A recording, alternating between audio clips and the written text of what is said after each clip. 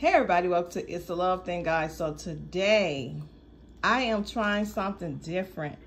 They had this um food truck and it's called the Avocado Theory. So I have, I guess this is avocado sauce. That's avocado sauce? Mm -hmm. I have a salad. And I gotta let you guys see this salad. It looks so good. And Pops is eating Wendy's. I say that so like, why? I look at this salad. Oh my goodness. You sure you don't want to try no avocado? I don't like avocado. What? I don't know what's wrong with him. But anyway, guys, this is what we are having for lunch. Don't forget to like, share, and subscribe. Don't forget to comment. And let me know if you guys have ever tried the avocado theory. Avocados are very healthy. Okay find me something else healthy because I don't like avocado.